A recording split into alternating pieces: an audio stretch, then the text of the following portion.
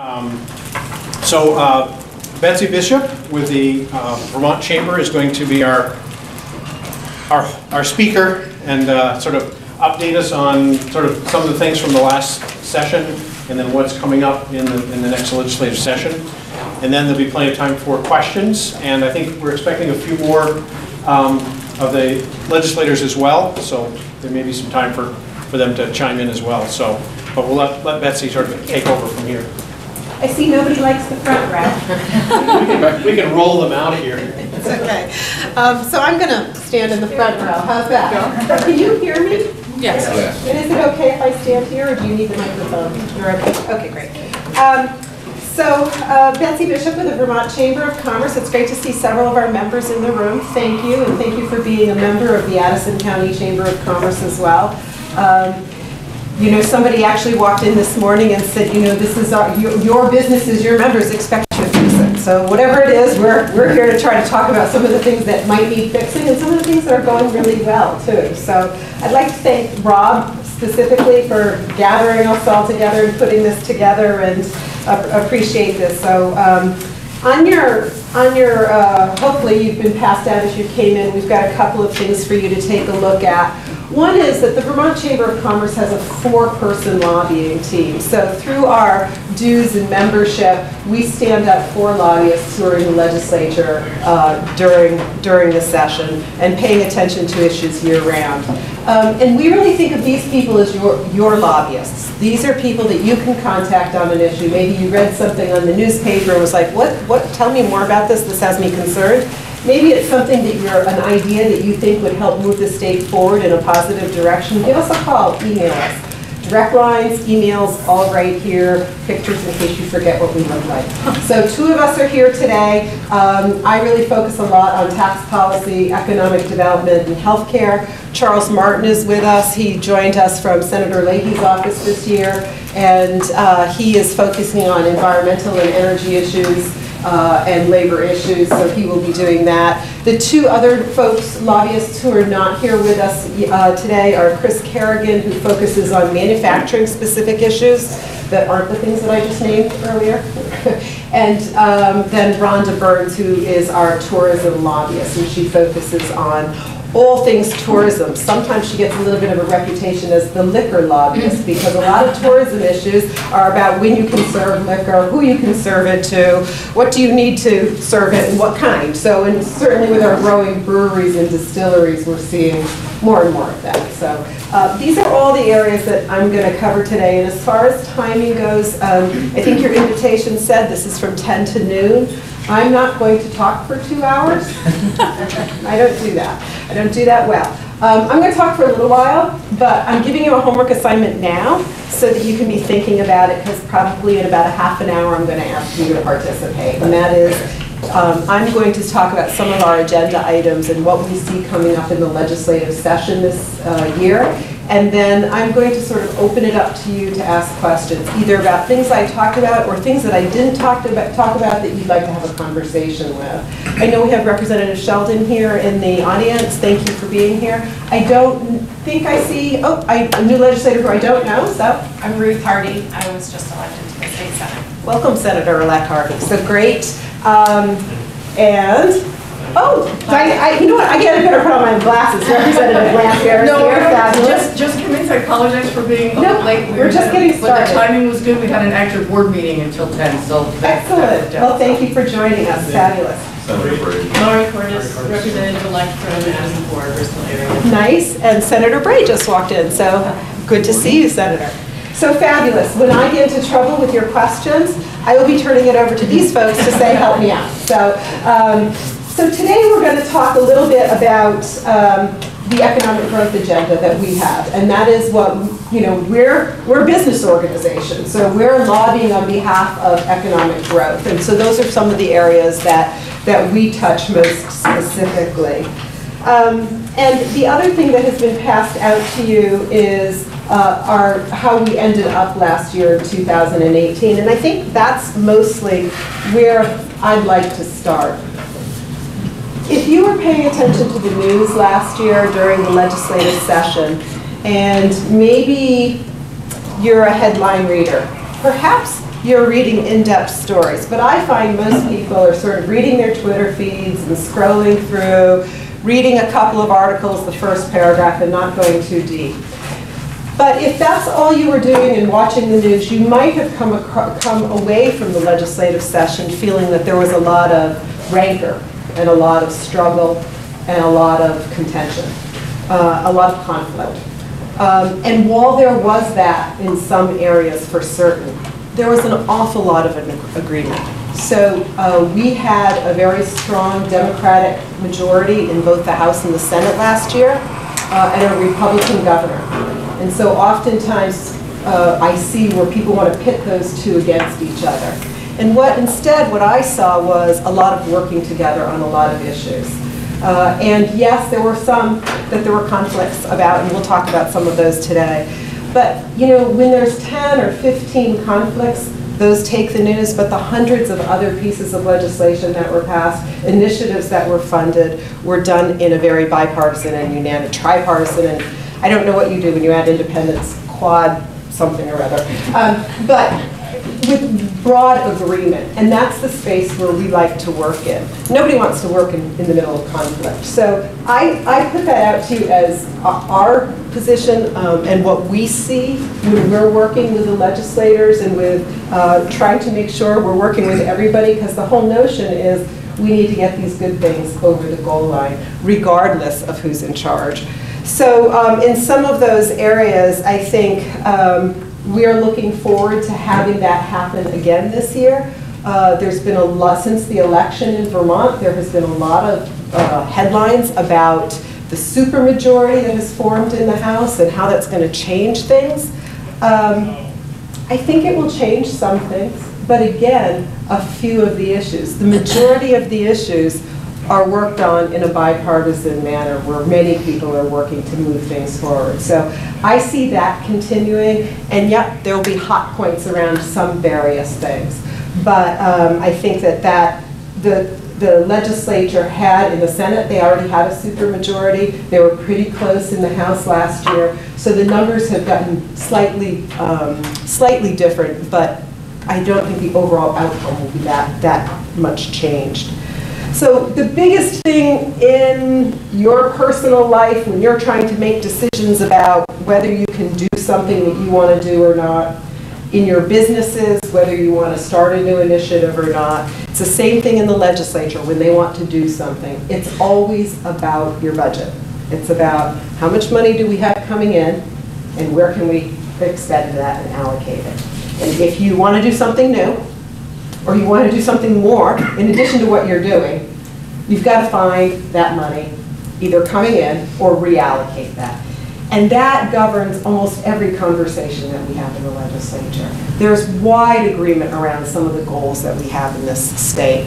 Um, When I think about the big issues that are coming forward, you know, how many people want uh, clean water or broadband to every last home or any of those things? Nobody disagrees with those goals. There's nobody going, um, I'd rather not have any clean water, thank you very much. No, most people want that. The question is, where do we get the money to fund these types of things? So the budget is the biggest issue that is threaded throughout every issue. Um, And it's usually the first thing to be discussed and the last thing to be decided. And so within that conversation, there's a lot of discussion around uh, new taxes, new fees. Uh, Two years ago, Governor Scott ran on a platform of no new taxes, no new fees. And that was one of those hot points, one of those struggle points, as uh, different agencies and different uh, committees in the legislature looked at, well, what could we, uh, you know, we want to do this new initiative, what could we look at? So that was certainly one of those struggle points. Um, this year, we start the legislature with about a $70 million gap between the revenues coming in and funding existing programs and what, who's eligible for what, and knowing that. About 35 million uh, revenues that are coming in are natural growth from existing revenues. So there's about a $35 million discussion. Um, Depending on what you add to that, that can get a little bigger when you think about some of our long-term obligations. Uh, But that's not news, that happens every year, and that's what the budget process is about. You know, nothing ever stays constant. So we're starting from that perspective. So then in come all the wants and needs. We'd like to do this new program, and we're in that line as well. We have plenty of ideas. Um, And so that's when those struggles begin, and, and we'll begin to, we'll begin to see that. Interestingly, another change this year that I've seen is, um, if you're reading the details in those stories and you're reading what the governor is actually saying and what his staff is saying, we've seen him open the door on taxes and fees. Whereas for the last two years, he's been, nope, nope, nope, not going there. Um, We've seen him say, I will listen if somebody has a good case to raise a tax or a fee. Uh, And then he goes on to say something like, but I'm not inclined to do it. So um, I think would, somebody, from my perspective, I've been in this for over two decades, I hate to admit that out loud. Um, uh, And so I'm, I'm a student of watching uh, what, what folks, what our political leaders say. And I can tell you that uh, that's a signal. Now, where that ends up at the end of the day, I don't know. What is the priority? Certainly, it's not going to be everything, but I imagine that we'll end up in June with some new forms of revenue in some way, shape, or form. Um, And it just depends on, on where that is, but it won't be everywhere. Um, So those are some of the over, overarching issues that we're talking about. So let, let's talk a little bit about economic growth and what we can do there. Um, The biggest issue for employers in the state, anybody know what it is? Hiring people. Finding. Finding people. Hiring people, finding people. Yes, our workforce. It is the biggest struggle. So um, we have a sister project called the Vermont Futures Project that looks at data uh, and uh, in six key areas.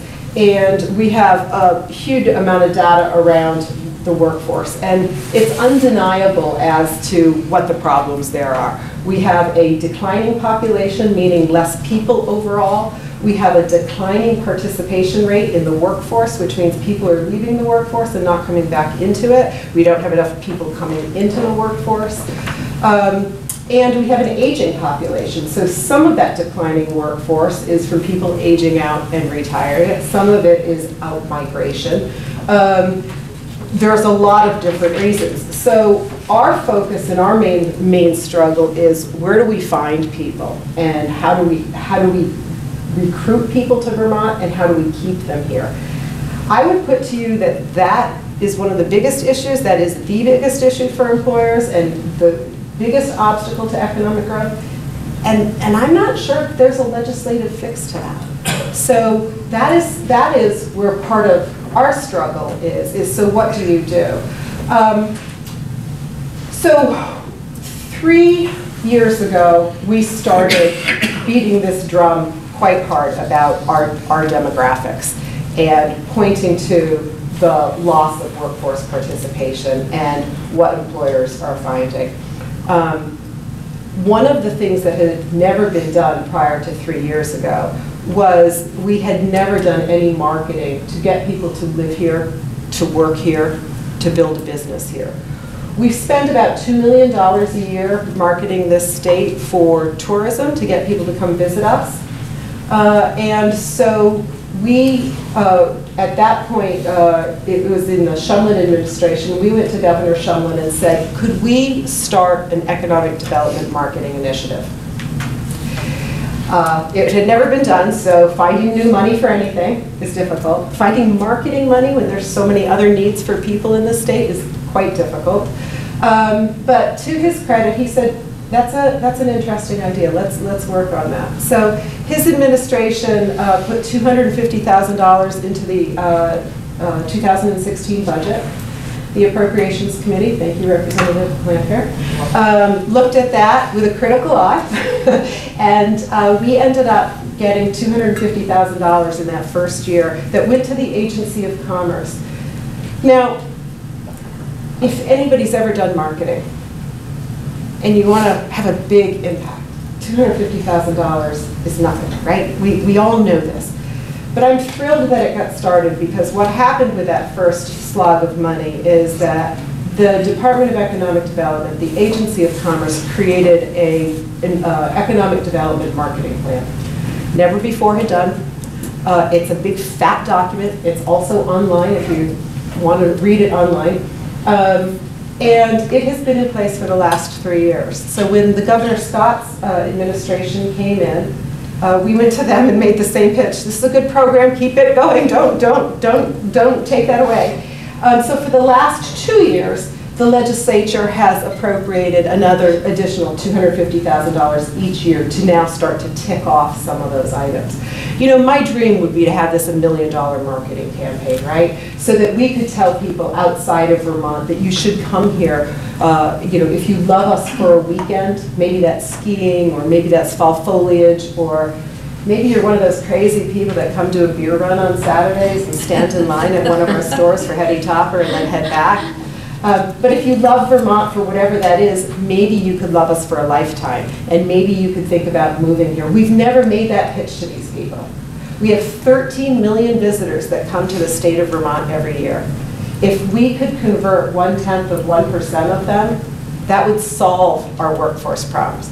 We need about 10,000 people a year, every year, to replace what we're seeing for that demand. So we right now have about a 10,000 workforce gap between the number of students that are graduating from high school and graduating from college and going directly into the workforce. That number is about 8,000 that we're having into the workforce. Meanwhile, when you look at employment levels, to keep at an employment level of about 1.5% rate of growth, uh, to account for the retirements, to fill the workforce for seasonal and traveling nurses and temporary type workers, that comes to about a little bit more than 18,000. So that's where that gap is. We know we're not going to get to 10,000 more people in the workforce in Vermont tomorrow. There's no piece of legislation that we can, we can, we haven't thought of it yet. Maybe today we could come up with it, but they're very hard to do. But over time, telling people that we want them not just to visit us for a weekend or a week, but to use that experience to come be, become Vermonters, become residents, that's sort of our main pitch. That's where, what we're working on the hardest and the most, and we think that the administration and the legislature have supported that for a number of years. So um, we think that's important to keep going. We'd like to see that increase. Um, There's a program, I don't know how many of you have heard of Think Vermont or Think Vermont Move. Uh, Good, so if you haven't, I would encourage you to go to thinkvermont.com. That is where these initiatives are being uh, spun out of, the Agency of Commerce. They're doing something called um, digital ambassadors for Think Vermont. If you are not one, I would encourage you to sign up with one. What happens in this, this is part of the economic development plan. The notion is to use all of us as echo chambers. Again, we only have $250,000, so there's no big media campaign.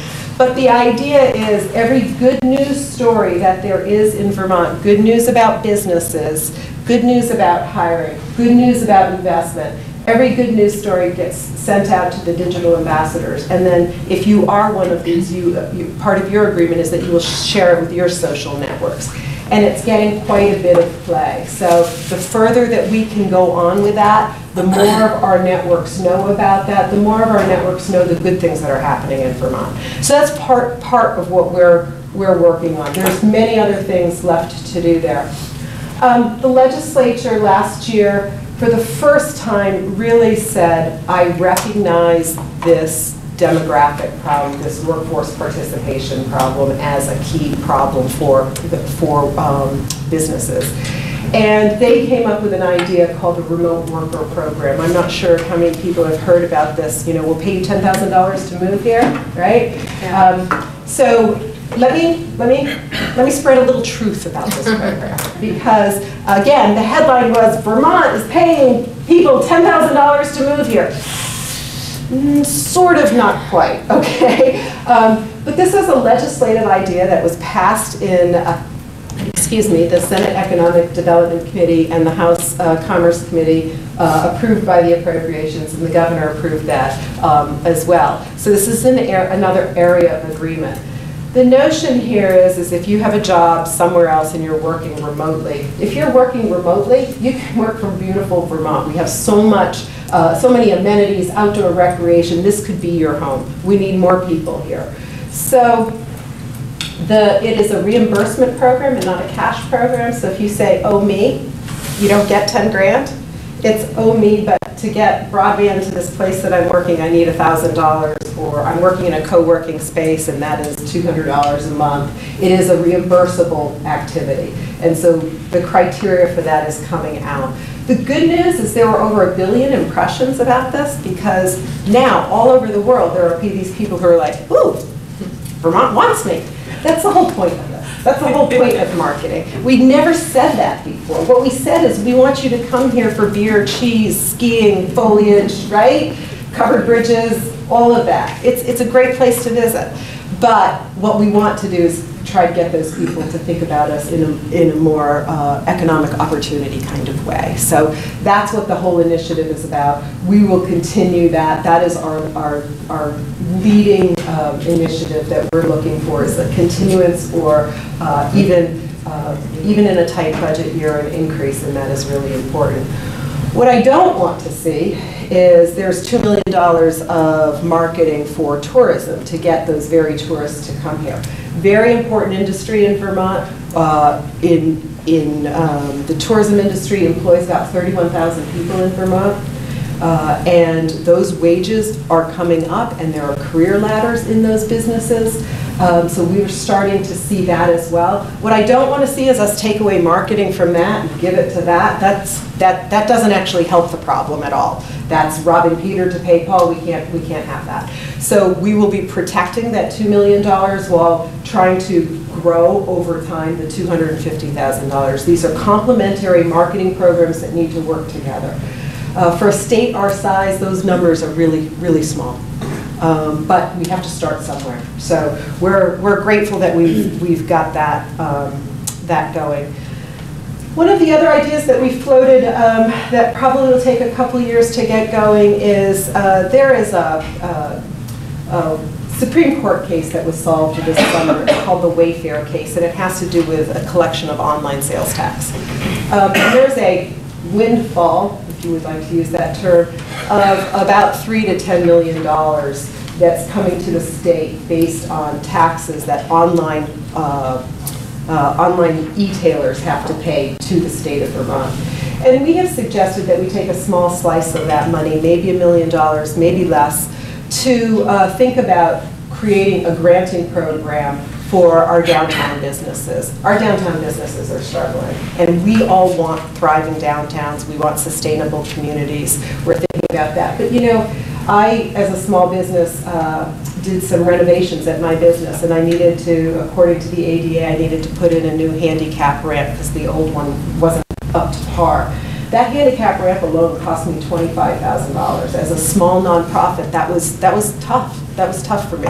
We did it, we had to do it, that's fine. Imagine a program where there was a partnership between the state and that private business to incent them to do the right thing. So maybe half of that money would come from the state and the private business would match that. The downtown would, would benefit from that. We also think that a lot of our downtown businesses need a little bit of help in upgrading in cybersecurity, in online payments, all of those pieces connecting to sort of being an e-tailer and being online as well as being in the downtown. There's a program like this for farm and forest land currently in the state, and we're modeling it after that. Uh, that program is called the Working Lands Program. Some of you may be um, familiar with it. It's a really successful program where they're helping private businesses who are in farming and forestry, and they're giving them uh, grant monies to do that. So we're trying to make that connection between the Wayfair case and downtown businesses. So we'll be bringing that into the uh, economic development committees as well. Um, The other issue that I hear quite a bit in economic growth is telecommunications. How many people want your cell phone to work at your house? right? How many people want stronger, bigger, better, faster broadband in your home and your business? Everybody? So we all agree on the goal. I mean, this happens everywhere. It doesn't, we were just in southern Vermont having this discussion, uh, having the discussion about broadband and telecommunications in Windham County. It's rough. It's rough, I can tell you that. Uh, If you've ever looked at that map in Vermont of where's covered and where's not, Windham County is, is, is a rough area uh, as far as coverage goes. So we all want it. The question is, what? Back to what I started with. It's always about the money, right? So um, I have been told to get us to that promised land of broadband to every last mile, that is $300 million problem from where we are today. Not, not what we've already invested, but to get it to every last place. So everybody has the same speed. Um, I'm not running for office. I'm not looking for your vote. So I'm going to tell you what I think is the hard truth, and that is, we're never going to have $300 million to do broadband. Last year, there was an, uh, last session, there was an effort to raise taxes to begin a start of that, to invest in that. Uh, The tax that was going to be raised would have raised somewhere between one and $2 million to help build that out. If you do that math, it still is going to take a super long time even if you raise that tax to get there. So, you know, what's the answer then? If you are living in a rural area and you don't have great cell coverage in your home, or maybe you can't stream Netflix, excuse me, Netflix in your home, you live in a rural area like I do, um, it might be a while. But there are some really good things in telecom that we're doing about, and I think we need to change the story a little bit. We need to talk about the areas that have really strong broadband capabilities and encourage businesses to locate in those areas. I get it, it doesn't help the people who want something they don't have somewhere else, but as we think about our development, we're already directing folks into growth center areas, into industrial parks, into designated downtowns. These are the hubs that are covered, that, that's where the investment has been made first. We should be continuing that story. That'll always be, always be an issue. Yes? Hi, I'm Marty Kolchak. Um, I'm a small business owner here, and I hear what you're saying about we need to attract people to Vermont, and we need to spend some money to think about them relocating, and we need to focus on our downtown areas. But if you try to live in Middlebury, it's expensive. Yes. If you try to live in a small town just outside, Ripton, there's no broadband, there's no cell phone. It's not a, oh, well, you know, too bad for Ripton, move to Middlebury, there's no place to move to. So affordable housing is a huge problem for bringing in the workforce that we need for our small businesses. Um, Not really being addressed. Broadband build-out, if we can bring a gas pipeline to people who don't really want it, and we can fund that, I think we can do some creative solutions to bring broadband to people who really do want it across the state. I don't see any creativity being used.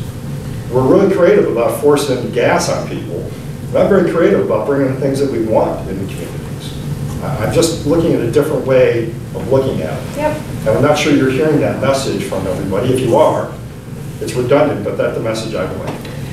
Well, I think that's a, I, I, I do hear it. I'm not, I'm not tone deaf to that, but I have to say, I, and you're right, maybe there's not enough creative solutions. During the gubernatorial campaign, I think um, Christine Hallquist came up with a creative idea as far as how we can build out broadband. Um, That, I I did not go deep into the details of that, but that premise was, well, instead of having the telecom providers provide that and waiting for them to feel like, if I bring this out to Ripton, I'll have enough investment there, um, you know, it was, we'll make that the utilities' responsibility, and that they will uh, do that. And that would come from us as well, as far as paying for that. So maybe that's exactly what we do need, is creativity, is how do we do that? So the, to date, the solutions have been, we need to raise money to put that state and private investment into those areas. So maybe there's more, more interest there that we have to look at. Just to give you an example, Comcast sends me a letter once every three months that they'd like to bring broadband to my business. I respond to it, yes. Let's They- go. They send an engineer out, says you're two miles from where we have service. They offered to do that for me for $100,000. Mm-hmm. You know what that is? That's not the cost of doing it. That's, we don't want to do it. Mm-hmm. If a handicap ramp can cost $24,000, and we'd like to do a public-private partnership, half and half, I could get broadband to my business for a lot less than that if we had a reasonable cost and we did the cost share. So I love But this. they just don't want to do it. So I love this idea. I mean, you know, perhaps that's, you know, some sort of a, a granting program that we could talk about to, to do that. There are some modest state funds already, you know, perhaps they add to those. But I think that kind of concept, you've, you've got two problems going there. Where's the money come from for the other half? Let, let's just say, that, that, but the real problem is how do you get the cost from $100,000 to something more, more reasonable that both the state and the private business would want to put money in? The actual cost. the actual cost. And so I think that's something that, um, you know, I think those are the conversations that the Public Service Department does have with those folks. But Last point about that, the Public Service Department doesn't govern it. Right, uh, that's why I was just, I- that's why I said, they're having conversations, but there's not that regulation there. They've been talking about not having any responsibility for internet at the Public Service Board since I've moved to Vermont. It would seem to me that we could get that part done. And, you know, the legislators are sitting in the room, I hope you're listening, I mean, let's get that part done. Give somebody responsibility for internet. I- I Because if you complain about, if you complain about the internet for consolidated, the Public Service Board, the answer is, we have no authority. Right, and I think the, their answer is that's the FCC's responsibility. Senator? Um, I'm wondering if the chambers looked at how EC Fiber is doing as a, you know, if you feel like that's a productive project so far, something the chamber generally supports, might even be considered sort of a pilot that could be rolled out on a broader scale. Yeah, I, I think, so the question was about EC Fiber, and um, I have not looked into that in depth, but I think the model is working. I think the people who have built that out, there was a lot of struggle in the beginning. I think that same model is coming to a couple of different towns where we're starting to see towns creating sort of a broadband effort on their own. Um, So I think that can work. The other interesting model that we're watching is what happened with VTEL in Springfield. VTEL got a huge amount of money from federal government to invest in that area, and they have built that out, we think, we hope. Um, What's not happening from that is, there was a lot of discussion about if you build, if you have this broadband, you build that, that it would attract economic growth, it would attract people. We're not seeing that in the Springfield area. It might be still early yet, but there's a couple of hubs, and this is what I mean about, you know, we have to talk a little bit about where we do well, and that doesn't mean that we can't continue to address where it, it needs to be. But there are some spaces in Vermont that are not, you know, urban centers. I mean, I don't think of, you know, the Springfield area, or EC Fibers in Orange County. I, I don't see those areas as being, you know, hugely urban. So that, I think that's, that's something that we can talk about. So, thank you. Yeah, Or did you, uh, I didn't know if we'd opened it up quite for questions. we can keep going. I have a whole bunch of other issues I'll get to eventually. We got questions, let's go. This is sort of um, kind of building off a little bit about, about what you were saying. I'm Jen Drake with Vermont Public Radio on the Development and Not News. Um, And so that, that point about how expensive Vermont can be and looking at the younger workforce who is going to be making less than their parents' generation and coming out with a lot more debt. And Vermont is incredibly expensive no matter where you go, rural or urban. And so how, how, what is the chamber doing, but also legislatively speaking, how is that conversation tied in? Internet's one thing, but taxes, rent, food, gas, all of that is another that makes it really difficult for people to live and stay here. Yes, so I think that's what we often hear is the affordability agenda.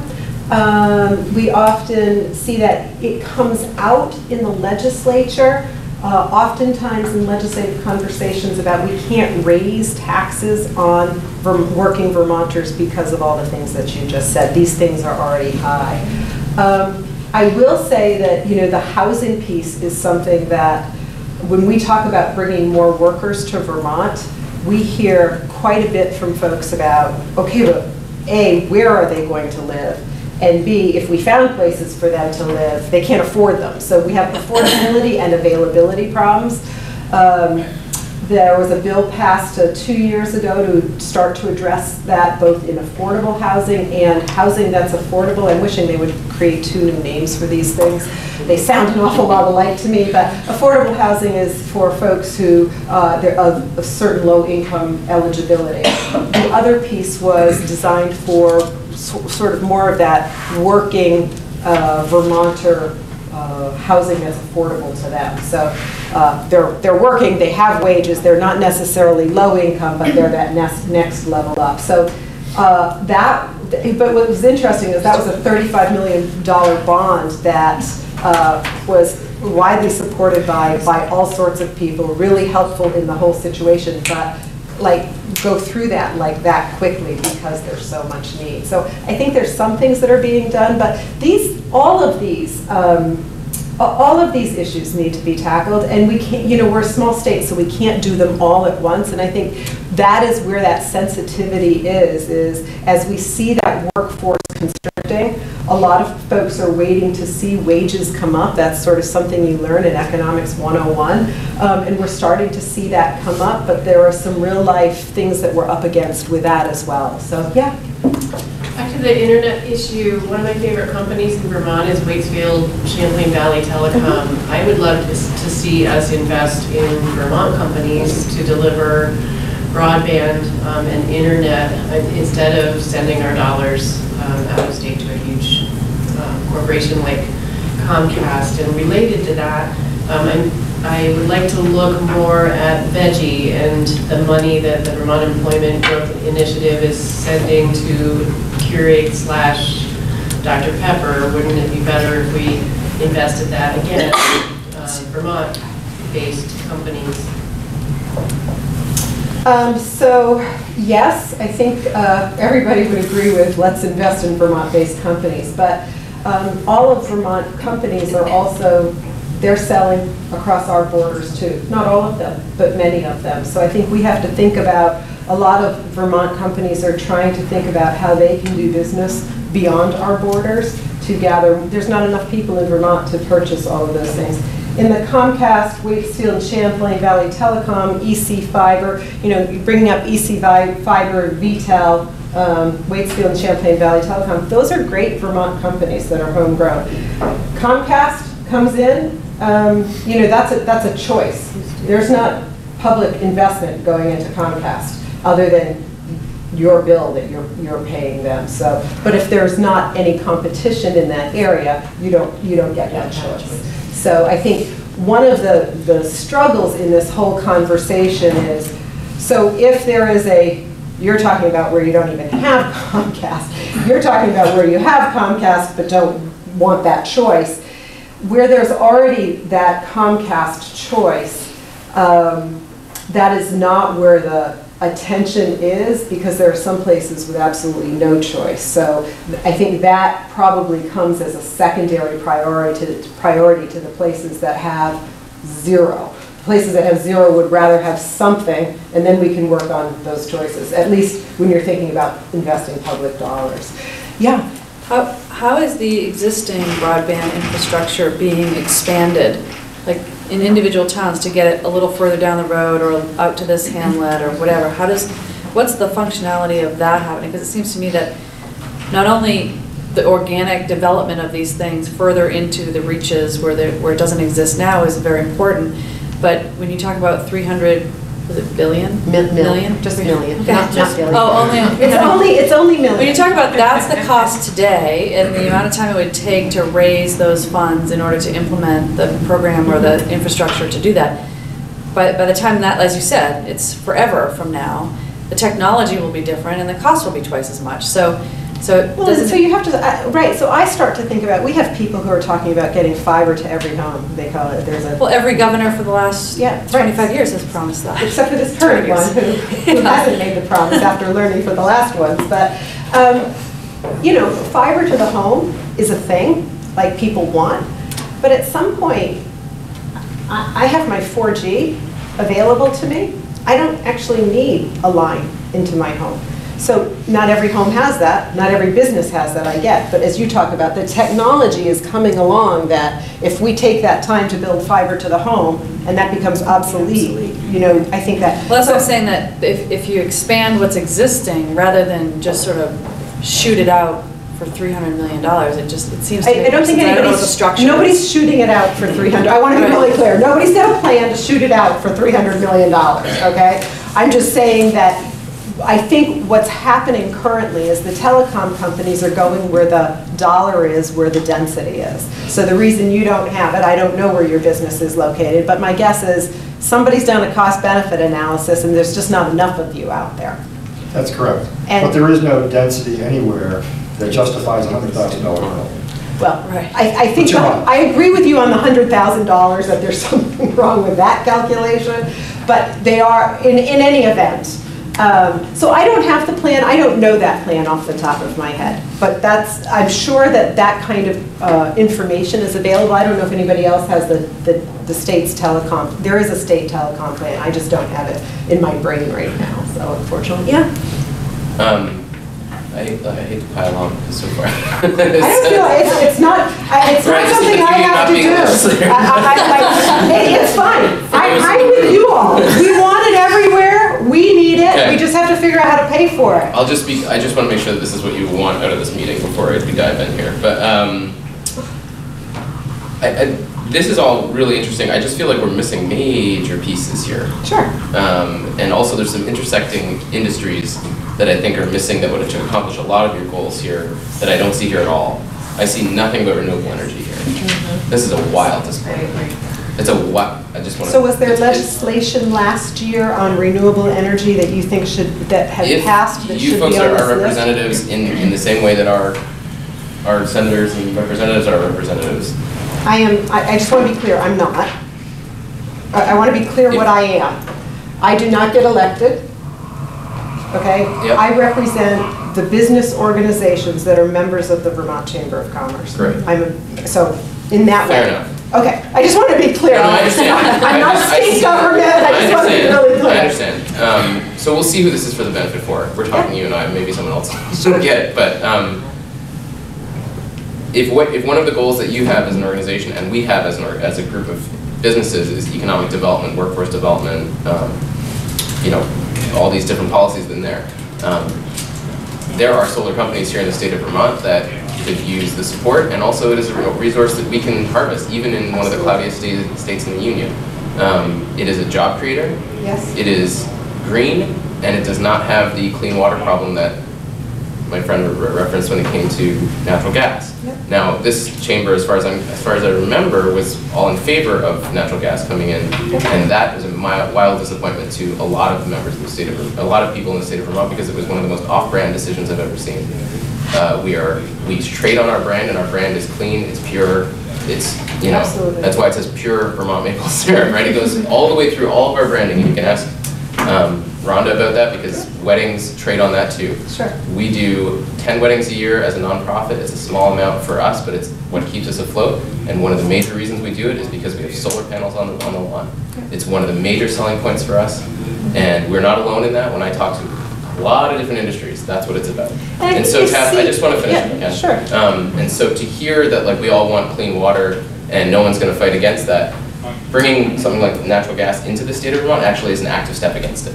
And I just want to, I just want to make sure that we understand that even if we're not supporting, even if there's no other bill that says the clean water bill and everyone's going to get behind it, by making these other choices, we're actually supporting things that, that go against it. And so like there's some, there's some things there.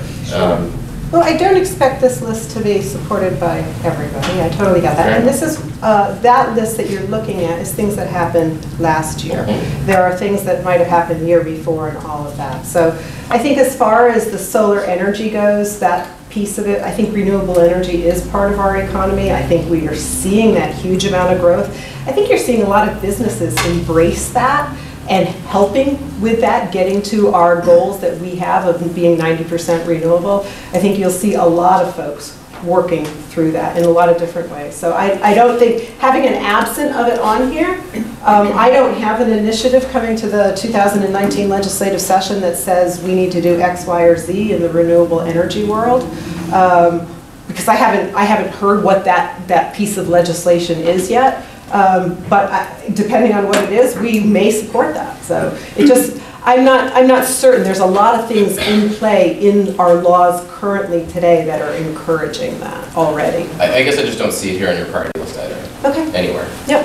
And it seems like it'd be an easy, it's an easy thing to put in there, encouraging, you know, renewable growth. Let's talk a little bit about some of the tourism industry that you brought up. We've got, um, this year, we've got uh, some, we anticipate the, an increase in the rooms and meals tax coming up. We see an increase in, um, we will be coming back to look at uh, Airbnb regulation as well, and how that impacts uh, the world. Uh, The last two years, the legislature has passed legislation on Airbnbs to make sure that there's a level playing field there between uh, existing lodging properties and the new world, if you will, in, in the Airbnb uh, world. Um, That's sort of a tough issue because we want to embrace uh, the Airbnb industry. The traveling public is demanding that, they want that, uh, and people are engaging in that. So two years ago, we started to discuss how we can make sure that those, those types of properties are part of the fabric of our tourism world, but also how uh, they have to adhere to the same laws and regulations as a three-bedroom B and B, for instance. So uh, two years ago, the legislature passed a law to do that around the rooms and meals tax, and so that was passed and made, an- the tax department has made an agreement with Airbnb specifically to collect those, so we're starting to see those tax revenues come into the state for those overnight stays in a, uh, in a short-term rental property. Last year, the legislature passed another initiative to uh, make sure that those properties were registered with the tax department. Uh, And what happens from that registration is they get information about the laws that they should be adhering to. There's no enforcement, there's no fee around that. But some of that work is um, things that where, I know Dan Brown just left from the Swift House Inn, but uh, some of the issues that we're talking about with some of our members and how uh, we're all in this, as this disrupts the tourism industry, how do you stay alive? Uh, So I think those are some of the, the things that we're looking at there. Excuse me. Sure. Um, Is the laws that pertain to Airbnb complying with the meals and tax program, does that apply to VRBO and HomeAway and those other? So, the Companies as well. yes, yes, the law says if you are running an Airbnb, you need to remit the 9% rooms tax to the Uh-huh. state. If you happen to be doing that through the Airbnb platform, they've developed, uh, you don't, you as the Airbnb, you as the short-term rental owner don't have to worry about it, Airbnb does it for you. But if you're exclusively doing it on HomeAway, you as the, as the owner would have to remit that. So the law is the same, it's just they've created a process for Airbnb. So the um, homeowners on HomeAway and VRBO, they're required to Yes. Submit it, but there's no automatic, uh, the way it is with Correct. Airbnb. And what's the uh, follow-up for the health laws for those other lodging establishments? Right, so there were 32 pages of new health regulations that went into effect January 1 for all um, lodging properties, uh, whether you have a two-bedroom, uh, B- traditional B and B that's a business or not. Um, But Airbnb property short-term rentals are not currently, have to adhere to that. Uh, I think that's something that we will be, we talk, talking more about. We talked a lot about that last year, and I think it was uh, a little bit tough to get to that. I think our ideal world is that, you know, if you're in business to host overnight, people overnight in your establishment, you've got to think about health and safety of the people that that you have, so. Well, here under your thing, it says that one of your accomplishments was required for short-term rentals to comply with tax and health laws. Yeah. So what happens is they register with the tax department and they get this reef of paper that says, here are the laws that you need to adhere to. That's it. Right. We, we fought for a little bit more than that, and we'll go back and have that conversation, but, you know, it, each year they're making, uh, we're all gaining a little bit more understanding and trying to figure out how to not only embrace it, but not regulate it too much, but have there be some equality. Those are, those are difficult conversations. In the back, and then a couple more here. The one thing that happened with short-term rentals last year relative to Airbnb is that the tax department allowed um, everyone that's advertising just on Airbnb to use Airbnb's Meals and Rooms Tax ID. So the state is still blind as to how many Sure. short-term rental properties there are. If you don't know how many there are, our, our debate continues to be, what is the short-term rental market as opposed to knowing what it is, because we'd have information if everyone had a tax ID. Um, So that's a problem. It is, and, and, our- and our position has been, we want registration with some kind of fee, I don't care what that is, but, you know, for, have them be equal to the smallest B and B that's out there now. Um, But fairness and equality, level playing field. So if we had registration and a fee, we would know who these people were. We think that that money should go to the health department for enforcement, but only based on risk or complaint, which is kind of how it's done now if you own a three-bedroom B and if we knew what the, the market was for, And then we in the market, we could craft meaningful, responsible We legislation. We have no idea. So we're, we, we- I shouldn't say we have no idea. Airbnb's given us some information.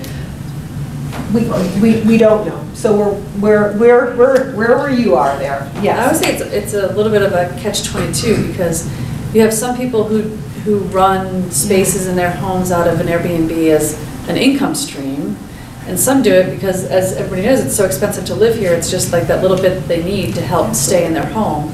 So is there a differentiation between? There could be, but since we can't register, we don't know what is out there. We don't, we do know, like from um, stories that we've heard, this notion of me being a retired woman in a big house, I used to have four kids and, you know, it's just me now and I have this big empty house and I just want to rent out a few rooms and use that to pay my property taxes.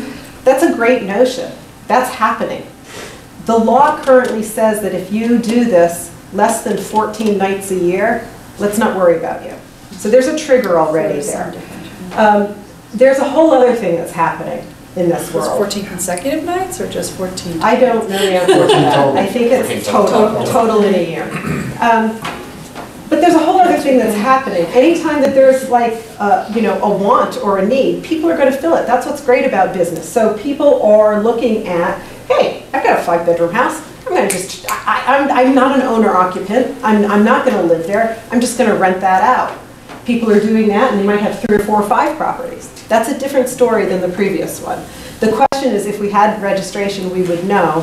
So mm-hmm. right now, we're kind of like, we want registration. Step one. Before we start saying, well, it's, eh, it'll actually be step three. Step one was get the, get the tax, that was two years ago. Last year was at least register somehow with the tax department so that they can give you that information. And now step three is the, that other piece. But we're, we're working on it over time. The industry's growing, so we're learning more with each, with each piece. Yeah, This may be a question for the legislature, uh, legislators in the room, but I'm curious, Betsy, your thoughts too.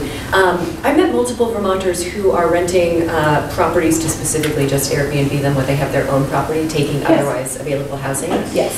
How is that being addressed? Yeah, um, I think this is, well, this is the question. This is that business model that we're, we're wondering about. But you bring up the other piece of that is taking housing off the market.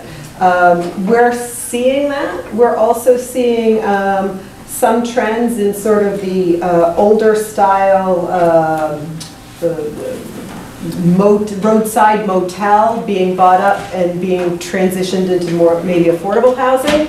Um, So we're seeing sort of, because these are properties that house people, right? So I don't think we know the impact of that yet. I don't know, she had mentioned, interesting from hearing from legislators if they've heard about the housing piece. We have a, we have a, we have a housing problem in the state to the extent that you take that off the market and turn them into Airbnbs that are not registered and don't have to worry about health and safety violations. I think, we, we do think, uh, as representing into that industry, that that's, that's an issue.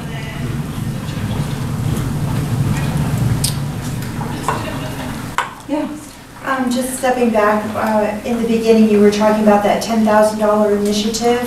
Do you have any numbers as to how many people have come into the state with that initiative? Zero. uh, it doesn't start till January 1. Okay.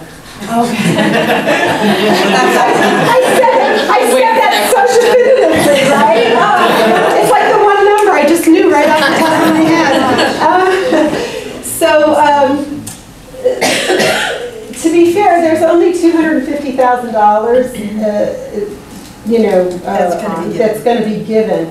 Uh, So most people interpret that to be a max of 25 people, but I go back to, not everybody's getting 10 grand, somebody might be getting one or whatever. So some of the criteria are being worked out. The program doesn't really start till January 1st, so maybe when we meet here next year, I'll make sure I come with that number, because it'll be more than, I won't be that definitive, but it'll be more than zero. What's also interesting about that is there's been, a- I- I've heard up to 3,000 people who they now have, at, like, names, we have contact them who said, I want to move here. Mm-hmm. What's great about that is that you can now serve them up other information. So maybe you might not qualify for this remote worker thing, but have you done this, have you done that? And there's some work going on to find out, well, why did you want to move here? What, what are you looking for for work? Did you know that that job is open here? So there's some matchmaking going on within that population outside of that. Yeah, Diane? So I just wanted to, you touched earlier on the Working Lands Grant, which Sure. is, which is a phenomenal program Mm-hmm. uh, that, that I, I do wish we had more money to in- invest in because it's, it's something that's actually working Yeah. for, for the, for the things that we want to have happen. But I would be interested to see, because it's very similar to this conversation around the um, attracting from outside of Vermont. What I wasn't aware of, and that I learned more recently, is that many, no, I don't know the total number, but there are people from outside of Vermont who, because of the Working Lands Grant, want to come and work the land in Vermont. They're coming from out of state to come to work the land. So much like this, uh, bringing in from out of state, I think we should take a look at how Working Lands is actually making that effort happening right now. Yeah, I love that out idea. Across state, yeah, and so they're already applying. Yep. So, so, so there's numbers there that are, are worth looking at as well, of bringing in people. Yeah, that's a great idea, connect those two, yeah. Okay, well, to continue in this mode. Sure. With the $10,000 initiative, I mean, you're just bringing in, let's say, 25, maybe more because. Let's say 50. Of how, okay, so we'll go with 50. But it's just really, s- just small numbers. It is. Why hasn't Vermont taken the initiative to try to aggressively bring in corporations? We have lost so many businesses, companies that were here that have left because Vermont is not business friendly. They're not trying to bring in or even keep the companies that are here. So there's where you're losing your workforce, your taxes, everything. And then to compile that, to say, okay, now we're going to raise the uh, rooms and meals tax, and you just keep putting a nail in the coffin of the people who are here. You, you, you're not making it business friendly at all. And, and even for the tourists coming in, they're gonna have to pay more money to come to Vermont. It, it's just, you're, you're killing yourselves. So first off, I think that you need to try to retain the businesses that are here and be good to them, and then try to bring in corporations. So there's a lot in that statement to unpack. Um, So did you want to add on to that so that I can answer those both together, or should I? I want to add to it just a little bit. Sure. What she says is a valid point. What, what is even more alarming is that there's no succession planning in terms of retaining young people here because at some point, you're going to have mass exodus of the young people for businesses outside of Vermont, and what will be left here is just dwindlings. And that is, should be concerning because at some point, you're going to have people be like mass, having people come in just because, or or have people having many kids just to retain a population here. So that's, a- that is- should be concerning. So I, I think these two things, the, Yeah, the- the exodus, the people, all of that. So just a couple of numbers around this. Um, Trying to think about, um, one of the things I often hear is that if we could just keep our young people here, it will solve the problem. And I just want to sort of dispel that myth. That's not true. Um, The numbers don't bear that out.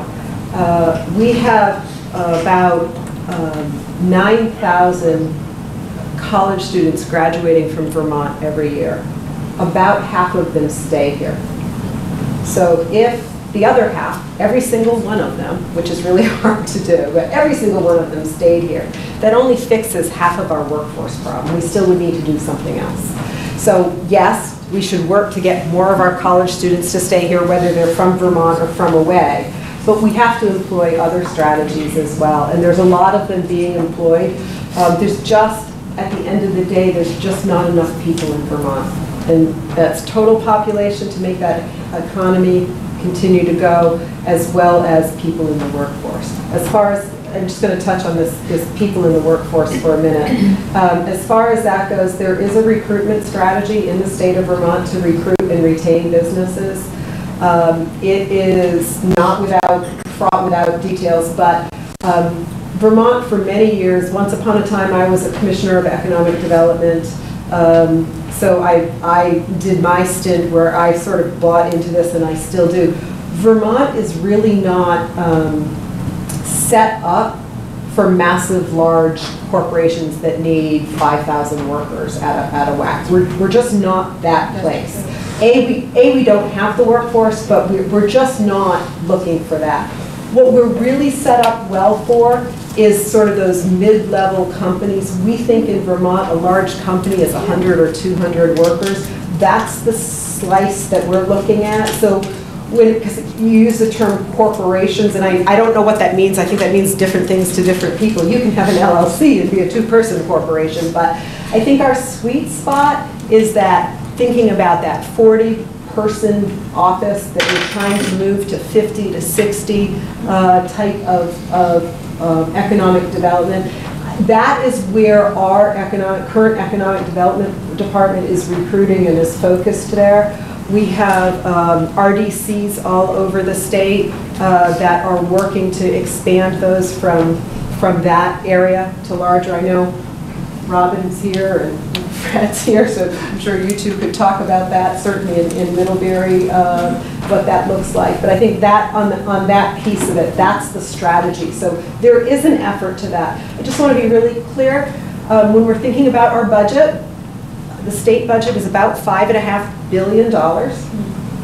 The Department of Economic Development has 15 people who work in it. So when you think about what we want them to do, and the size of their budget that they're looking at, and the size of the number of employees that they have, uh, those are 15 people working as hard as they can for what you're talking about. So it's a relatively small slice of the, of the overall pie. Uh, Somebody had, you wanted to add? I was, just to her point, you know, it- expanding businesses or recruiting businesses to come to Vermont, to me, the, the hindrances there are things like Act 250 and other development legislation that, that, that is super costly, in many cases doesn't make a lot of logical sense. So I think, I think that is a more of a legislative fix than a marketing push. I mean, you, you can't, you can't go out and recruit the people until you can have the We infrastructure. have to make it easier able- for these companies to And less come into. Vermont. And that's the whole thing, is it's, it's the initiative of what are you doing to try to attract businesses to say, I want to move to Vermont. And, I mean, I, tell me what the success rate is, how, how is that, that I think on we doing? I think we do that in, a- in a number of ways. I think we have some incentive programs in the state that we are, um, that are also very small, um, that we utilize to do that. But the businesses that we tend to have success with are people who want to come to Vermont for reasons um, of their business plan, their market, um, things that they see about our state that, that we can um, naturally align with. And then come the incentives, as opposed to what many other states do is, you know, we'll build you a road, we'll give you bazillions of dollars and you come here. We're not really in that business at all. Um, We have a couple of programs that are in that, but they're, they're like tiny, really tiny programs. So I think that there's that. Yeah. So I served on the uh, Vermont, uh, the VEGI Grant Program along the way. Fred was managing it, and, you know, my conclusion was that Vermont probably has the smallest checkbook to draw, to draw on for doing economic incentives to bring people here. And um, a a company that will make a s- uh, siting decision based on incentives once will make that decision a second time. So I think it's even sometimes when we bring someone, it's a temporary um, attraction, and that we always, our strongest calling card is built on other deeper values of, uh, you know, around the things you were talking about earlier, like recreation and um, health and safety, all those. Renewable energy, people Yeah. want to come here for that clean water, for that pure brand that you're talking about. Companies that value that, that's where our sweet spot is, and thinking about that, and we have, we have to recognize that. The other thing I'd say is, just so we don't drift down the road of doom and gloom too much.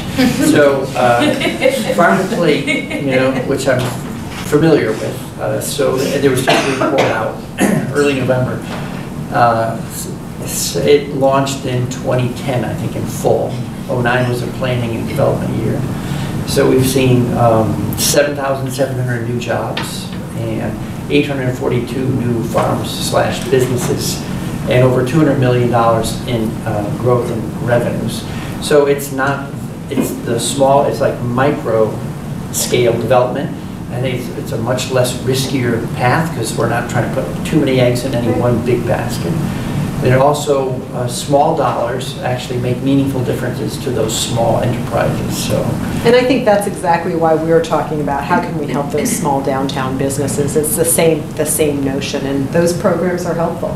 When you look at the overall growth trends, I think that's a meaningful difference to that small business. I think that's when we're talking about that, that's not the corporations that you're talking about, but the thing about Vermont is, we can't, we're, we're not big enough to do just one thing. And it's probably a good thing that we don't do just one thing, because when, in 2008, when the recession came, our lows are not as low, and perhaps our highs are not as high, but there's, there's a benefit in that. We, we tend to stay in that middle band. You had, Can I did ask you one have? little sorry. more farm factoid? So. Oh, sorry, go ahead. Well, we're often legitimately. I'm not a, I'm not a, I'm not hugely knowledgeable about the ag industry, so this is great. Well, we're the number one ag county in the state, so Yes. it's part of what we talk about a lot here. So uh, total number of farms has actually increased in the last decade. The, what the press often is talking about, with some justifications, the declining number of dairy farms. So, but in the overall ag food landscape, it's still actually growing. Excellent. Did you have something you wanted to add? Yeah. You just mentioned uh, people are attracted to come here for clean water, but we don't have clean water, and those of us who are in the tourism industry on lakes or near lakes are facing increased algae blooms Yeah. and closed beaches and everything else uh, for a longer period of time. So I don't know. There's a lot of effort going on around that. There's a lot more, I mean, the state of Vermont is under a, you know, uh, EPA order to correct that, I think. Um, I think there's certainly a lot of money going into it now, and I think that there's going to be even more. Um, I think that issue will continue to be at the forefront. I don't know what the solution is or where the revenue source is coming from. The governor has announced that he's going to put $15 million in his budget proposal to, to address that. Quite frankly, we need, I think, I don't know, maybe 68 million a year for 20 years, something like that. 25 more, I think, yeah. So, so there's, we need, back to, we need more money. Everybody wants the goal, trying to figure out where that comes from. So I think, I, for one, am, am interested in finding out where this initial slot of money, but there are existing programs that are funded that continue as well, that count toward that, but there's more that's, more that's needed. Uh, yeah, Um, I was curious in terms of the, the, again, those intersecting goals that kind of fit Sure. a lot of your points for your goals for 20, or priorities for 2019. Um, and I know there is a lot of buzz on it, so I'm curious to know where you're at with it, or what steps you're going to be taking, which is um, childcare. Um, because I know you're smiling because you're probably hearing it from all sides on this one, but um, Yeah, the, yeah.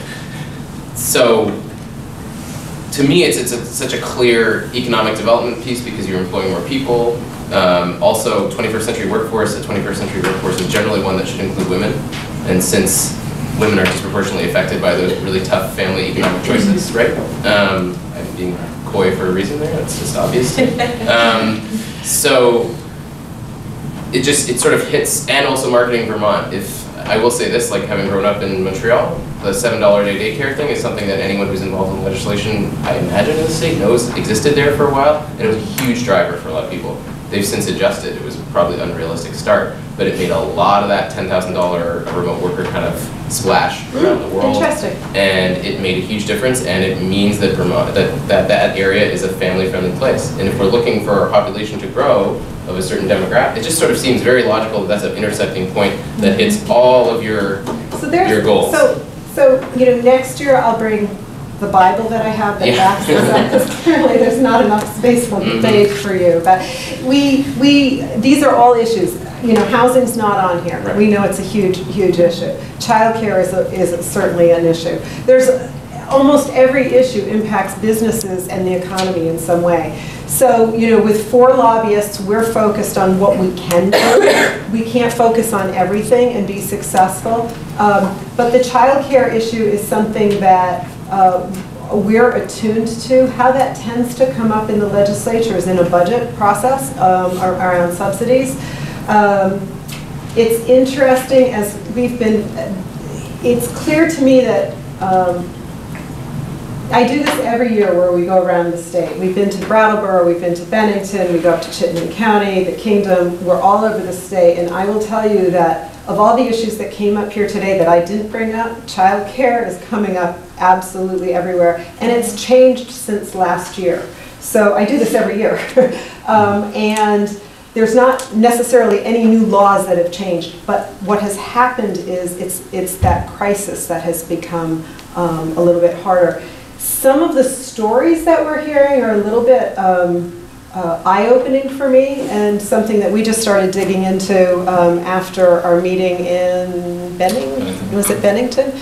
Um, Where we had learned some of the priority orders for some of those slots that are available are going to people who are uh, not working necessarily. And so we're just, we don't know if that is law, policy, just that area or what. So those are some of the things that we're looking at is how do we, we create that incentive to have some of those slots for people who are trying to work as well. So I don't know, that's certainly not a solution to the No, I just- childcare problem, but it's one of availability and affordability, so, uh, much, you- much like housing. The other thing, I'm sorry, I know Amy's mentioned, but the, uh, the, there also was a crackdown, I think it was last year, there was a change in regulations and we saw a huge drop and my childcare provider is one of them, Yeah. who just sort of, what I call went dark. So there's a They big stepped out of, they stepped out of the, out of the sort of state, Yeah. you know, now we don't have numbers on them anymore, we can't track them, and so it becomes less, and it, we just made it harder. And she just said, quite frankly, I've been doing this for 25 years, and all of a sudden it's harder than it's worth it for Is me to in do this. Digger today? There's a huge story. I in doubt it very much. There's a huge story in Digger today, Oh, this okay. morning, which I read before I left, uh, that uh, talks about this very issue and um, about how the regulation, well-meaning to try to get, you know, more people with higher levels of education Mhm. and, you know, more regulation around those home daycares. And there were numbers of how many have gone out, and obviously your daycare provider was one of them. But I think those are, those are issues that, um, you know, folks have suggested maybe there's a way that we can have those as goal and people can show that they're working on those goals without necessarily having achieved them so that we don't, because afford, availability is, is as much of the problem, so, yeah. So can I just, I'll just add to that. do. too. So we, the legislature actually asked for this, you know, taking a look at that, the childcare situation, because it is the number one thing that we're, that we're concerned, or maybe not the number one thing, but there's a very big concern. So, so there was just released here a couple weeks ago that the JFO did a uh, childcare capacity and workforce study. So that's on the JFO website, that just came out, and, um, and I'm more in tune to it because I also chair the, uh, the advisory council for child poverty and strengthening families. And so that was something that was, that was really brought to our attention during some things. And it's a good report to take a look at statewide, but it also breaks it down by county and how many slots and talks about um, where, you know, we were- how many people did, did not continue to work in this workforce because of some of the, the regulations and what was some of the dynamics around their closing. Um, They, they dove into that a little bit, you know, but we also have an aging population that was actually doing this care, that there's a natural retirement that's happened there. But the workforce issue in that sector is also huge to find people. There's not the pay structure for there. So there, so if, if you're low paid already, you're, it's, it's a tough place to find people to want to um, break into that business. And is the STARS program, there, there is assistance to help, like if you're trying to get to four stars or five stars, you do get some, some help and some timing before you get there. But, um, so there are some real issues around how do we help to develop that workforce? How do we incentivize people to go into that business?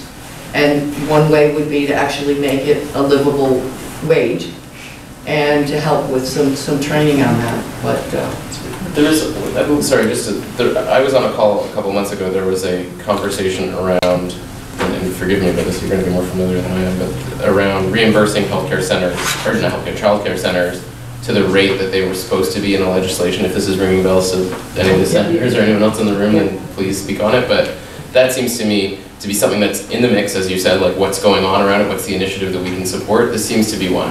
Um, and childcare subsidy. that's the one. Yeah, so we're paying right now, I think it is, we were all excited because we could move from maybe 2007 rates to Right. 2012 rates. So it's come up a little bit, but we're nowhere near. And Diane, the price tag on that is pretty hefty, isn't it? it's, it's, it's like 42 million, Yep. I think. Um, We would, we've been putting a couple of million in, we've actually been putting some grants, if we didn't have some one-time money, so, so that if we couldn't sustain an investment, if we could help with grants to childcare centers that maybe want to invest in a play yard, some, some one-time investments that would help their business, but yet doesn't go into the subsidy. And I'm gonna say a number here, and I'm gonna quickly regret that I actually say it out loud, but somewhere in the Welcome, welcome to my. Something like twenty-five percent of the people in childcare, you know, or slots, receive that subsidy, subsidy, which means seventy-five percent are your working families that are really under a great deal of pressure as soon as we increase the cost in that world. So we have to take a look at, or wanting to take a look at it in its entirety, as well as the subsidies, the people that work there, and the pressure that we're putting on families who are already stressed. Yeah, so it, complex issue. You already got $42 million in, um, I think, yeah, give it a lot. 40-ish. Sure. Uh, And, you know, trying to figure out where to get more to put more in. So it, it's like many other issues, yeah. The figure I remember last year from Senate Education was we're $9.6 million shy of Yeah. being Yeah. current. I, I, I thought it was nine, If we additional nine. Paced along with inflation, we, Yeah. So the way the legislature has to struggle with a $9.6 million ask is probably in increments. And it, this is, when you're looking at, you need $15 million for clean water this year, you need $9 million for childcare, you want, you know, money to invest in downtowns and farm to table, and it- it's, it's a big puzzle, it's a big puzzle. I feel like I would be remiss, Act 250 came up here ever so briefly, but Representative Sheldon, I don't know if you mind me putting on the spot, I know you've been all over the state talking about this, and I know that's going to be a big issue coming up. Act 250 is 50 years old, and Representative Sheldon is leading the uh, conversation around that, and that will come up in this session. Would you like to talk a little bit about that? Sure. Um, So we, yeah, starting 50, we've done an 18-month process. We have two meetings left. Counting? Um, say, uh, you know, what we learned, we did six public forums around the state. We learned that Vermonters support Act 250. Um, 71% of Vermonters think it's been good for the environment. Kind of goes around there, quality of life issues. I think today we've talked some about a little bit of a disconnect. Our values and our actions are needing to get lined up around the environment, quite frankly. Might be a little bit, um, I mean, one thing we've learned, we're doing our report writing now, making recommendations. Um, Our economy is doing better than our environment. And that's just the sort of truth of it in Vermont. We have uh, per capita income in inflation-adjusted dollars has tripled since 1970. And we've gone from 33rd in the country to 19th in per capita income.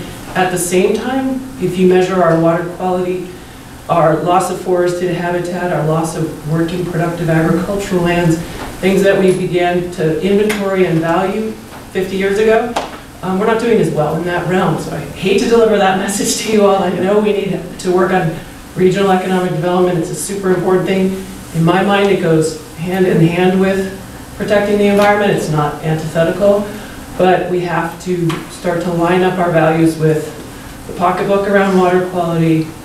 We need to figure out how we're really going to maintain what we call um, natural function in the landscape so that it's still a place that we can live, but also the wildlife and our quality of life. There was a CNBC poll that just came out. We have, we ranked in a business ranking number one for quality of life. So I think that's part of the hand-in-hand thing with the economy. We, we don't have the Vermont brand if it's not legitimately lined up. If we have polluted drinking water, if we have polluted surface water, and if we don't have our forests to really see us through climate change. I mean, that are working, we are so blessed to have 80% of our landscape be forested right now, but for the first time in 100 years, we're seeing a loss of our forested landscape, and I think that's a wake-up call for all of us around our quality of life. In the 30 years I've lived in Vermont, wildlife diversity and abundance has increased, but as soon as you start losing those open spaces, we're going to start seeing that go back. A lot of us live here because we want to interact with the natural world on a daily basis. We can't lose that, and we have to do better at it. I'm hopeful. Talked a little bit about the changing political climate. I think we're going to find some common ground on big things we might be able to do around encouraging development in our designated centers, um, potentially coming to some enhanced designations that look to, um, I'm going to say front load, meeting the Act 250 criteria that matter in our downtowns. Um, so that village, all those five designated areas, you guys are probably familiar with them, um, perhaps can meet some of the criteria up front and then not have to go through Act 250. Some of our industrial parks have already been able to do that, so looking at that. I did want to make one comment about, I'm, I'm disappointed that uh, you consider it a setback that we change the threshold to half acre stormwater permitting. I don't see prevention as a setback in any way, and I don't think many of the people in the development community see it that way either. I introduced legislation two year, two bienniums ago, my first year, and got support from a lot of the development community saying, yeah, we see the writing on the wall, we have a water quality problem, it is less expensive to mitigate water pollution on new development than past development. We're already needing to, re- you know, go backwards in time and address water quality pollution on the three acre threshold. Most development in Vermont doesn't, doesn't even make a half an acre impact, right? So I think we're still gonna be missing a lot of developments. We, really, all of us need to just stop forgetting, forget the regulation, and when, when we behave in our environment, stop polluting. Mm-hmm. You know, if it's you at your house or it's you at your business, it's, it, it's, the incremental effects of our individual choices are, are adding up. Um, so I don't want to be doom and gloom, and so I won't end on that. Well, I, I, I- I'm going to pull you back two sentences ago. You weren't doom and gloom. So I think that there's a lot of area of agreement here. One of the things that we try to practice at the Vermont Chamber is sort of this, this trilogy or triangle of our, of our support. And we think of those three points of the triangle as being the environment, uh, the economy, and social justice. And sort of thinking about social justice as expressing fairness, uh, the environment is thinking about preservation and thinking about uh, the economy as opportunity. You need all three points of that triangle to be strong in order to have the life and what we want here. That's why we're here. You, you actually said it very well, like, this is why we live here. We talked about economic development and recruiting businesses, and I talked a little bit about the types of businesses that we recruit. They've got to believe in what we believe in and having this outdoor environment that we, we value and having that. So we'll be coming to the Act 250 discussions with that in mind. Um, Charles will be our, our point person on that, and we, you know, our, our first statement is we want to strengthen Act 250. Uh, we want to make sure that it continues in the way that it is. There are some things that we think we can do to ease uh, some restrictions on development in the designated areas, as Representative Sheldon talked about. We think that's the way to go. We've gone through all this effort, this planning effort in the state to, to create, and I call them circles, they're never circles, but, you know, like circles around certain areas. This is a designated downtown. This is an industrial park. This is a growth center. This is an emerging town center. There are all these, I think you said there are five designations. I, I must have missed one there, but, But, and they're never circles, they're usually like oddly drawn things, but um, if, if we've gone through all the planning and the input and the the municipal um, effort and the state effort to say, this is a designation, of this is where we want growth to occur, we should then let growth occur there in a, in an enhanced way and in a faster way. And I think there are some benefits there. I think there probably needs to be a little bit more work there. So I'm, I'm pleased to hear you say that. I think that's an area of agreement that we, we will be working on to try to think about growth in that area.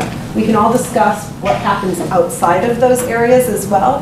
But I think, again, looking for common areas of agreement, that's an area that we can, we can work on first. Yeah.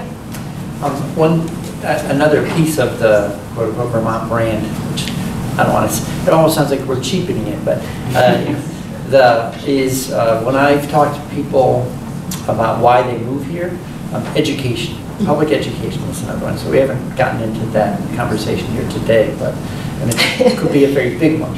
But quality of our public education, I think, is um, regularly I talk to families and I say that's why they're here. And I, sadly, I had my first visit at a door this fall campaigning where someone said, it's great through middle school where I live, which shall go unnamed, um, but not after that. And they were moving to uh, Wisconsin.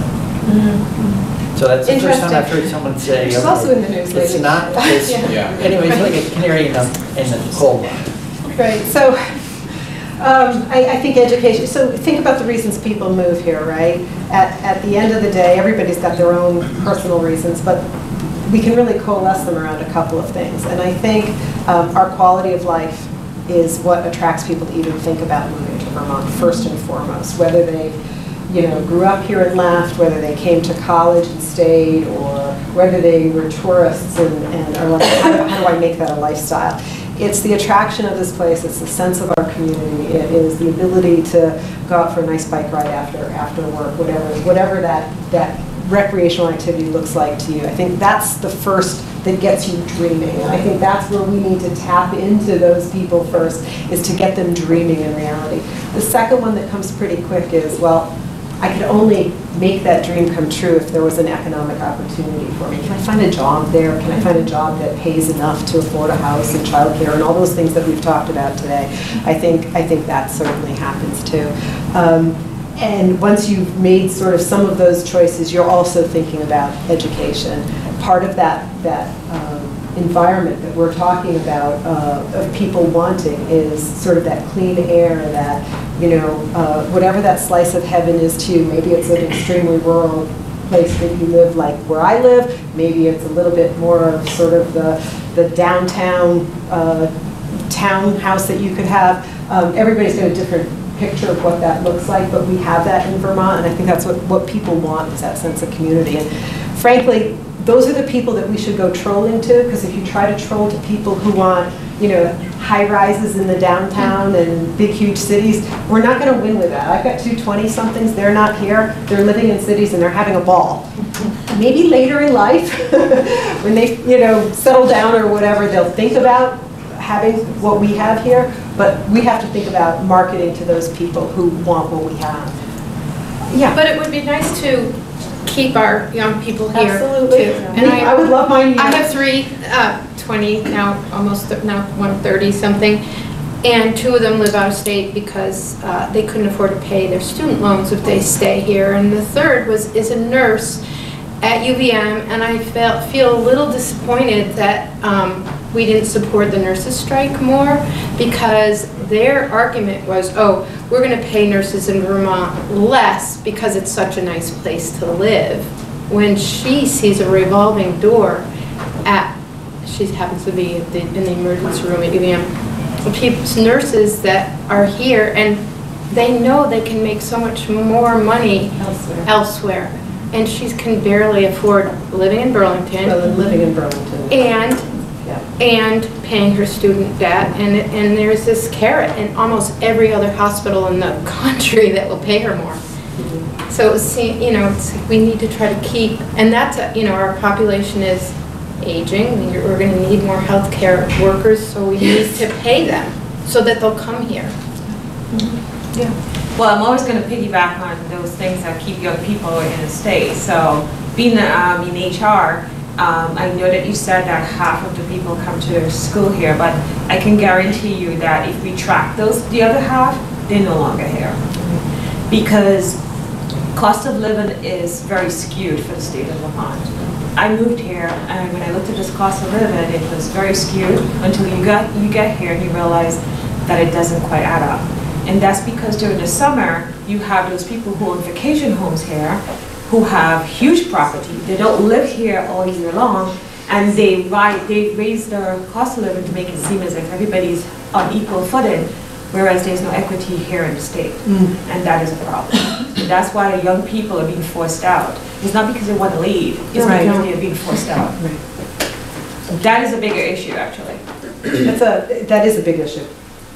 I just want to bring up the, um, yes, it's incredibly important that we work on affordable housing and uh, childcare. I'm very passionate about that.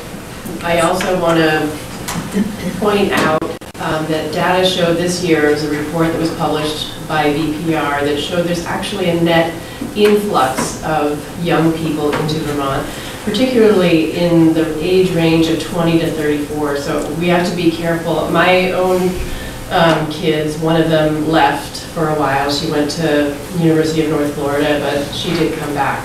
Um, So while it, it absolutely is important to make sure that we have the things that um, young people and young families need um, to thrive in Vermont, we have to be working with accurate information. So, right, so um, when you look at the cohorts, all that data is right, but when you look at the overall, so I think there's just different data points that add up to the same thing. So I think, I'm not disagreeing with what you're saying, I'm just saying that there are, um, there are ways that we can work to have even more young people stay, those numbers. uh, in that. Yeah. I was at a meeting earlier this week, and uh, Patricia Moulton, who's uh, president of VTC, Mhm. Vermont Tech, was talking about their situation there, the state college situation largely. It was really appalling to hear the numbers that they have to work with and what they're up against. And it really is uh, incredibly unfortunate that we spend so much money on education, but not on post-secondary. Uh, You know, kids can go cheaper to state schools outside Vermont than they can to Vermont state schools, and they're doing that. And uh, Vermont Tech is doing a bang-up job with a lot of their programs and working really hard, but yet they're still looking at deficits because it's just not the students there, you you know, to, to, to pay the tuition. And uh, she said that, you know, the majority, it's more than fifty percent of their students stay, graduates stay in Vermont. And even their out-of-state students that come to Vermont are staying in Vermont. And that's a One good of the story. reasons is because Vermont Tech does a phenomenal job in placing their students. Mhm. And Oh, yeah. The employers of this state know what they're getting from Vermont Tech and want those students. Yeah. I mean, they have an incredible story, She said they've got five students from last year that aren't placed, and she knows who they are. Three of them are not looking. So there's a beauty in our smallness, and that's it. The president of the college knows who you are. She's shopping your resume, that's great. Good. Yeah. When we talk about the Vermont brand and, and for people that, businesses that have a product that they can sell, I mean, if you're, as an example, cooking granola in Connecticut and trying to sell it in Connecticut, uh, but then you recognize that if you're selling granola in Vermont, there's a percentage difference on what you can sell that granola for. Is there any data that shows what that differential is? Yes, yes, yes. Not to bash Connecticut. No, no, no. Not to say any state. We're way better. Any state. There is a differential. Do you want to add, jump, jump in there? Well, just the, the re- a report I remember from roughly eight years ago showed that roughly comparable products, like food products out of Vermont, uh, is being sold outside the state. The Vermont product next to the non-Vermont product gleaned a 15 to 27% premium in the marketplace. So that to me is. Marketable. Is, it's marketable, and it's the kind of incentive that we could share with the world that, that doesn't put us in a position, you know, the incentive where we influx cash to a business and say, here's half a million dollars or whatever to move your business here, that is soon forgotten, dried up, and again, when the offer comes from Connecticut, they jump ship. But, but that is something that is not likely to change or not likely to be too watered down, not to use bad phrasing if you have No, water. but- It's like- But it's also. It has staying power. It has- not only has staying power, but it takes no state investment, really. Right. Um, There is, uh, I just, so 15 to 27 percent, I thought that that study was 2005. I'll go back and look at it. This came up just the other day in Brattleboro, and somebody, I can't remember who it is, um, I think the RDC director down there is looking for state funding to uh, upgrade that study to make it current, because they are being asked by businesses who they're trying to recruit here is, what's that differential? And 2005 data's not enough for a business Yeah. today. So um, I, and literally, this was just last week, so uh, it's interesting that it comes up again. But that notion, um, one of the things that makes that differential strong is we have something called Vermont origin rules here. So when you talk about granola and food, slightly different than if you're thinking about making renewable energy panels. Um, But the, to use the word Vermont in your name, especially when it comes to food, it, it's not about where you're located. It's where your ingredients come from. So some companies, for instance, uh, Cabot Creamery can no longer be, I don't know if you've ever noticed, their branding changed five or six years ago. They don't use Vermont in their branding because they can't, because some of their milk comes from New York. So they had to sort of say Northeast, uh, which is, it's a problem for us because we want Cabot to say Vermont everywhere. We want to be part of their I think marketing. there's still a picture of Vermont on the label, isn't Yeah, yeah, yeah. So, so, but, but there's other, you know, there's other instances of that. But I think um, overall, there's, there's plenty, I think the concept is a good one and one that we've got, got to look at. Yeah, and then, yeah. So I, I'm not in the food business, but I am in the products business. Yes. And, and.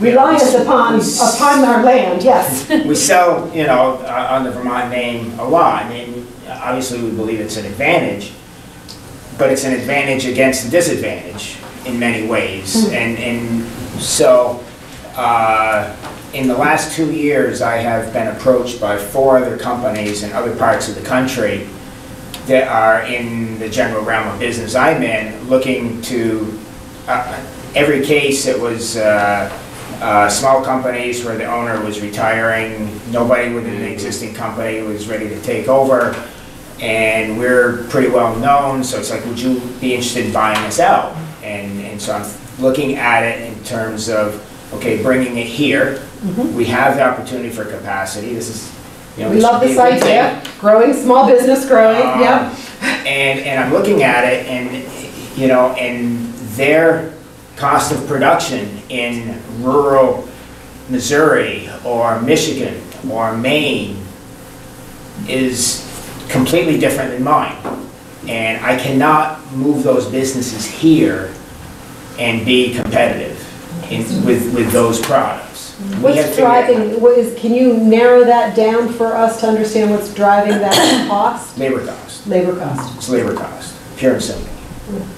And so we, I mean, we already know that we have a ceiling on our business because of our costs. I mean, largely it's because we're competing against China, but we're competing against other states as well with their policies. And I'm not complaining about what we have necessarily. My big beef is about our trade policy internationally, but, uh, That'd be nice. but, but the reality is that, uh, you know, you talk about recruiting companies into Vermont, it's- why? You know, we're not exactly geographically beneficial, you know, you're never gonna see a central Amazon hub here. Um, you know, think want that. No, but you, you gotta, you gotta bring things in, Yeah. and you gotta be able to get them out. And, gosh, you get a snowstorm now, and UPS and FedEx don't even work. It's Hugely frustrating. Um, but, and, and I'll just, since I mentioned Amazon, I'll go back. Yes, there's damage to the downtowns. I have ten full-time equivalents right now because of what we sell on Amazon. Wow. So, you know, it cuts two Both ways. Yeah. And you got, you got to think about both sides of it. I'm not a lover of the company, but it's the reality of retail in the modern age. It's interesting, uh, Vermont Teddy Bear Company uh, up in Shelburne They hire 600 workers from uh, November 1st to mid-February. Um, And their whole business model is those holidays within there. Uh, They have a problem finding 600 workers and who want to work for three months in that short period of time. Um, But they, part of that has been because they talk about how Amazon has changed their business uh, in some ways for good, uh, and it's not easy to, to do, but I think all Vermont companies are, who are in that, certainly in that retail, are, are looking at that. So that, those are some interesting thoughts. Somebody else, Jen, you had a... Thank you. Um, I just wanted to say quickly, kind of following up on the youth Park idea and VPR, there is a episode of Brave Little State, if you're not familiar with that, it's the People Power podcast, which is about youth flight, which does point out that the numbers do actually support that it's not lower, and they are actually, there's very small incremental growth. Um, But I, I do have to say, you know, the issues that have come up notwithstanding, it's not easy necessarily for those folks to be here, and it could, you know, there's certainly a lot more the state could do in order to make it easier for people to move here and have families and pay taxes. So I- I'd like to make a few points. First, um, in terms of telecom, the $300 million budget, um, I suspect if you went to EC Fiber and asked them to engineer the rest of the state, the number would come in much lower Much than that. lower, it's a good point. Um, Somebody asked about a, a potential renewable energy legislation piece, so I own Kennedy Brothers in Vergennes. I want to put in solar panels, and I can't, because Green Mountain Power won't let me, So they're at the net metering cap? because they're, they have a limitation on their grid in terms of Yeah. pumping power in. So, to our legislatures, how about mandating that red zones are eliminated in the state of Vermont, so anybody who wants to at least has the opportunity put in a solar array? Because right now in the entire Vergennes area, you can't. Um, Affordability, this, this always bugs me, because if you talk to anybody who lives in any city in the United States, the affordability in Vermont is easily twice as good as any major city in the US, and yet every major city in the US attracts gazillions of young people, in spite of the quote-unquote unaffordability of it. You know, so I really don't understand the affordability argument at all, and I wish someone could explain it to me, because there is nowhere that people want to move that is affordable. So I don't, I mean, that's not a distinguishing characteristic in Vermont, so. Yeah, we're not unique at all, so I, I I don't see that as really an impediment, because when people look at where to go, you know, Boston, New York, DC, California, they are way less affordable, in spite of the fact that the salaries are higher, they're still less affordable. Um, So I, I think we need to reframe that argument somehow. And, uh, that's it for now. Can I make a comment to that? I feel like you've been taking notes for the last hour. Thank you. One of the uh, things that we run into a lot of times uh, in real estate, where you've got uh, a couple who calls, they're interested in moving here because one of them has been recruited or secured a job. So it's, it's the trailing spouse. Talented So- partners. the- Oh. Is the trailing spouse no longer? Now it's no longer- No longer Talented PC? I'm partner. so outdated. Okay. Talented partners. Sorry. Regardless of how smart or talented they might be. But I think that's part of the affordability question is, is that, you know, if, if that second person Yeah, were can't able to job, find yeah. employment, That's a it good wouldn't be an, issue- it wouldn't be as big an This, issue. this talented partner problem is so real in Vermont. I, I feel like our HR hiring system is broken. It is. I I am, I'm not sure if this is the case in every other state, because I, I really just focus on Vermont, but um, even, I hear this frequently in the talented partner piece, where, you know, partner A gets the job, and talented partner B is talented in their own field, and, you know. And what happens is, what I hear is, the HR director from the one who got the first partner is calling their friends in the HR departments in other companies that they know, going, so, I've got this person who's got this resume, do you need anybody, could you make a job? Like, I I have to find two jobs to hire one. Mm-hmm. And oddly, that system uh, gets results, not all the time, but it gets results. And I keep thinking, is there some way that we could create some sort of process around that, or maybe just let it work. And when I said this before, somebody's like, well, you- it sounds like you need a Tinder for, for for job matching. And I, I actually think that's what like ZipRecruiter and Monster and all those other things are for, but it doesn't work because, you know, I, I run a very small nonprofit, and when I try to hire something, I get like hundreds of resumes if I put it out on Indeed.com, and none of them are any that I want. Right. And I spend all this valuable time, and I know my, my experience is not the, the only one. And I also, because of my position, I'm on somebody's list. So I get a call at least once a week. Hi Betsy, my name is Fred, Sam, whatever. And um, I, I'm interested in moving to Vermont, or I'm here and my spouse got a job, or whatever the story is. I want to be in Vermont, but I need a job. I have a great resume. Can I have coffee with you? And, you know, I, I've said yes to these things for a number of time. I wouldn't doubt if you folks are on these lists too. But I find myself having coffee with a lot of people who are looking for jobs. Mm-hmm. And I always feel inept because I am not a recruiter, I'm not in HR, and it just so happens if you caught me that week and I heard about a job previously or the next week, other than that, you're off my radar. This is not a good system. Mm-hmm. Let's call Betsy, let's call these 10 people who know everybody, and let's see if we can find a job. Apparently that works for some people. I, I want to take myself off the list. I am not, I'm not that skilled in that. I, I want to be nice to these people, I want them here, but, oh, so you're a mechanical engineer, great. I don't know anything about that. I don't know how I'm supposed to help you. So I end up calling people who have engineers and, you know, they have coffee with them, and the, the cycle continues. We've gotta fix that What about, is there any data, maybe that some of the legislature knows, is there any data about um, the tran, I don't know, transiency, if that's a word, of people that move to Vermont and then move out of Vermont within, say, two to three years? Does the Depart- Department of Taxes track that at all? I bet they could. The reason I ask that is because it makes me think of people who say, okay, I got a job, my talented partner doesn't have one yet, but let's, we love it Vermont, let's try to make a go of it. Maybe we could make the talented partner a Well, remote worker and get some money. Well, I think that's what happens a That's what happened to my wife, that's exactly how it. Yeah. I'm so- sure if you go to, um, what is it, it's Global Foundries, you probably get great data there. Because they themselves have had a dwindling staff, and so what happened to the partners and even the people who are, who occupy those positions? Mm-hmm. Are they still in Vermont? I'm just really, I'm cognizant of the time, so I just sort of want to wrap this up, and I want to say thank you very much to Rob for organizing this meeting. Thank you for the legislators who came. It's good to see a few new faces, and we'll be seeing you on a regular basis starting in January. So thank you very much for your time, and thank you, thank you for being part of the, the chamber organization. Thank you.